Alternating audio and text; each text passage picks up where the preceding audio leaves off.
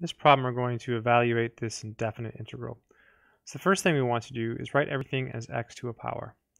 So note, if you have the square root of x, there's really a 1 here and a 2 here. And the way it works is it's always x, and it's this number over this number, so it's 1 over 2. Over here we have a cube root of x. And again, there's really a 1 here. And again, it's always this number over this number.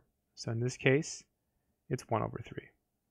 As a first step, let's go ahead and make those substitutions.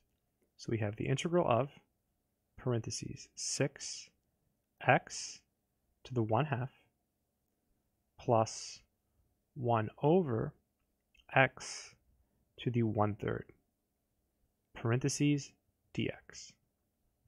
Okay, so now let's keep going and let's finish writing everything as x to a power. So this is done, but this one is not because it's downstairs. So what we'll do is I'll write down the first one again. So 6x to the 1 half.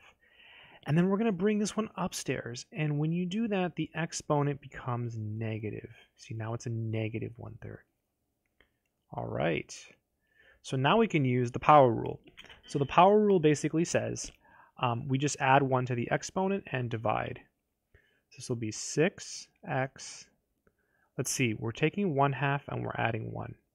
So 1 half plus 1 is the same as 1 half plus 2 halves, which is the same as 3 halves. So this is x to the 3 halves, and then we divide by 3 halves.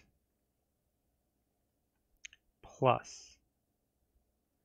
Now we're taking negative 1 third and we're adding 1. So negative 1 third plus 1. That's the same thing as negative 1 third plus 3 thirds. Then you add negative 1 plus 3 is 2, so you get 2 thirds. This is x to the 2 thirds, and then you divide by 2 thirds, okay? And then plus c.